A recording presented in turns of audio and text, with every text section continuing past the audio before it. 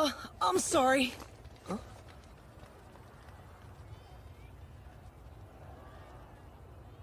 Huh? Are you from Ehime? Uh, yeah, but what gave it away? All this hair. I was told some guy with hair like Valderrama's was gonna show up.